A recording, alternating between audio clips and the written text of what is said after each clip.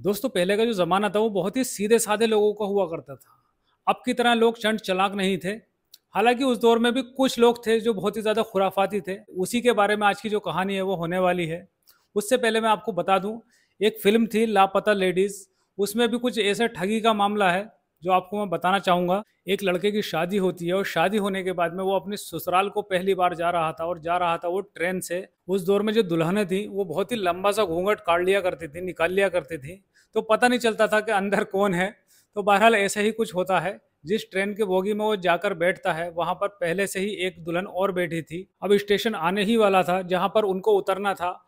दूल्हा जो था वो सामान को लेता है ब्रीफ केस लेता है और गेट के पास में जाकर रख देता है। बाद में दुल्हन हाथ पकड़कर दुल्हन को लेकर चला जाता है ससुराल में। ससुराल में जाने के बाद जो देखता है तो दुल्हन उसकी नहीं होती है, बल्कि किसी और की होती है।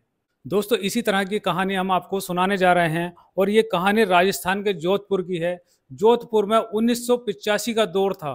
एक दुल्हन जिसका नाम सविता होता है और सविता काल्पनिक नाम है।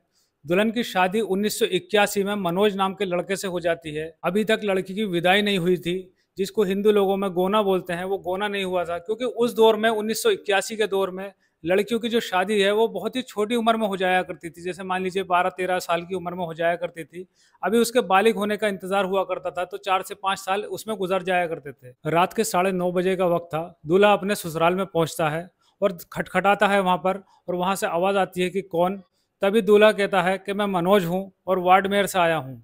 तभी दरवाज़ा खोल दिया जाता है कि दामाद जी आ गए हैं। सासू माँ भी खुश हो जाती हैं और जो दुल्हन थी सविता, वो भी खुश हो जाती है। दुल्हन की जो चाची थी, वो भी खुश हो जाती हैं। देखने वाली बात यह है, जब मनोज ससुराल में पहुँचता है तो उसके ससुर या फिर साले या फिर चचेरे साले कोई भी घर पर नहीं था, सिर्फ़ लेडीज़ थी, जिसमें लेडीज़ में उसकी बीवी सविता और उसकी चाची और उसकी सासू माँ होती हैं। अब दामाद जी ससुराल में पहली बार आए थे तो बहुत ही अच्छी तरीके से उनका सम्मान होता है, नाश्ता वगैरह होता है, बहुत ही इज़्ज़त मिलती है उनको।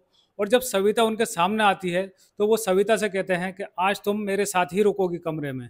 अब सविता इस बात को अपनी माँ से कहती है और माँ कहती है कि कोई बात नहीं, तुम्हारा गोना एक ना एक दिन तो होना ही है। कोई बात नहीं, दामाद जी अगर कह रहे हैं तो उनकी बात को मान लो। अब सविता बहुत ही ज़्यादा खुश हो रही थी, चहचहा रही थी, क्योंकि उसके जो पति थे वो पहली बार ससुराल में आए थे और वो भी उनके साथ में कमरे में रुकने को कहते हैं। तो सविता बहुत ही अच्छे तरीके से खुश होती है और तैयार होती है और पूरे शादी का जो जोड़ा था वो पहनती है। जेवर वगैरह पहनने के बाद अपना घूंघट निकाल कर और जाकर कमरे में बैठ जाती है। उसके बाद में मनोज भी कमरे में पहुँचता है और दरवाजे को बंद कर दिया जाता है और मनोज और सविता बहुत सारी बातें करते हैं। अब बातें वगैरह करने के बाद में वो सब कुछ होता है जो दूल्हे दुल्हन के बीच में होता है। अब सुबह के साढ़े चार बज रहे थे राजेश भी उठ जाता है सविता भी उठ जाती है।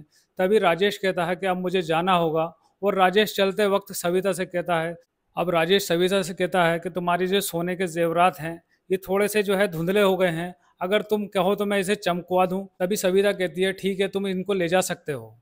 अब राजेश वहाँ से चला जाता है। कुछ दिन गुजर जाते हैं। करीब एक महीना गुजरने के बाद में राजेश फिर से अपनी ससुराल एक बार और आता है। राजेश दरवाज़ा खटखटाता है। राजेश के जो ससुर थे, वो दरवाज़ा खोलते हैं और वो पहचान लेते हैं कि दामाद जी आ गए हैं और सभी को बहुत ही ज़्यादा खुशी से बताते हैं कि दामाद जी आ गए हैं। और उनकी बहुत ही ज़्यादा आवभगत होती है। उनका नाश्ता वगैरह होता है, हर तरीके से पूरा सम्मान होता है।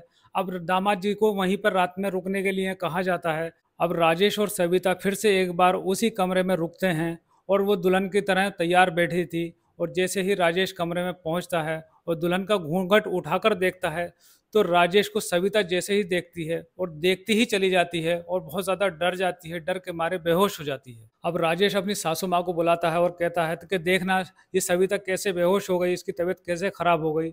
तभी राजेश अब कमरे से बाहर आ जाता है। उसके बाद में सविता की माँ पानी के छींटे मारती हैं सविता के मुँह पर, वो थोड़ा जाग जाती है। अब सविता अपनी माँ से कहती है कि वो राजेश कोई और था और ये राजेश कोई और है। तभी सविता की माँ बहुत ज़्यादा परेशान हो जाती है, घबरा जाती है और सविता से कहती है, बेटी, हमारी लाज रख ले। जो हुआ, सो हुआ। उसको भूल जा। तेरा जो पति है, वो यही है राजेश। दोस्तों, ये उन्नीस का जो दौर था, इस दौर में गाँव में लाइटें नहीं हुआ करती थी। गाँव में बिजली नहीं थी, शहर में बिजली थी, वो भी कम आती थी। और गाँव में तो बिल्कुल उम्मीद ही नहीं की जा सकती थी। उस दौर में सिर्फ़ लालटेन जलती थी दिव्या जलती थी या मोमबत्ती जलती थी। चौबीस अगस्त उन्नीस सौ अट्ठासी की बात है। वाडमेर ज़िले का एक गाँव है चौहट्टन। वहाँ पर भी इसी तरह की एक घटना को अंजाम देने की कोशिश की जाती है, साजिश की जाती है। फिर वही चोर दूल्हा बनकर एक दरवाजे पर खटखटाता है और खटखटाने के बाद में दरवाज़ा खोल दिया जाता है, वो अंदर पहुँचता है और बताता है कि मैं आपका जमाई हूँ। लेकिन देखने वाली बात यह है कि वो जो चोर था, वो बहुत ही ज़्यादा शातिर था। वो उसी घर में जाया करता था, जिस घर में आदमी नहीं होते थे उस वक्त। दोस्तों, देखने वाली बात यह है कि आज उस चोर के फंसने का दिन आ चुका था।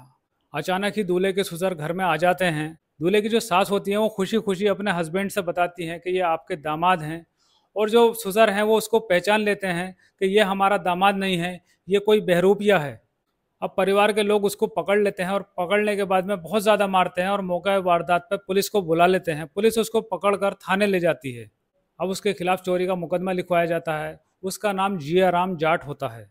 अब पुलिस उस पर सख्ती करती है और सख्ती करती है तो वो तोते की तरह सारी बातें बताता है और पुलिस उससे पूछती है कि बता तू कैसे कैसे गया था? तूने चोरी कहाँ की? क्यों की? कैसे गया था? अब पुलिस उस पर सख्ती करती है। सख्ती करने पर वो सारी बातें पुलिस को बता देता है और वो पुलिस को ये भी बताता है कि उसने अब तक 250 दुल्हनों के साथ में सुहागरात मनाई है। अब देखने वाली बात यह है कि किसी ने भी उसके ऊपर अब तक रेप का मुकदमा नहीं लिखवाया था। उसके ऊपर अब तक 19 मुकदमे लिखे गए थे, वो भी चोरी के। अब चोरी के मुकदमे थे तो कोई खास लंबी सज़ा उसको नहीं मिली थी। सन 2016 आ जाता है और एक लाश मिलती है।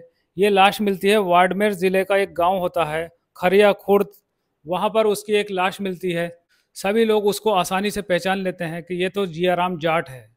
पुलिस उसका पोस्टमार्टम कराती है तो पता चलता है कि उसके जो गुर्दे हैं वो फेल हो चुके हैं, उसी की वजह से वो मरा है।